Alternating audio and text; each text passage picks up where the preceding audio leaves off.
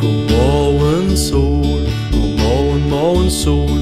Som kigger ned på Bellis og Viol. Og ned på Jens og Kaj, de frække fyre.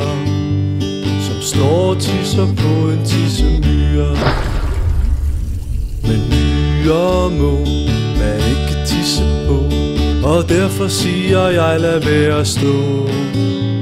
Og tis på myren, men gå hjem igen jeres tissemyre, tissemænd.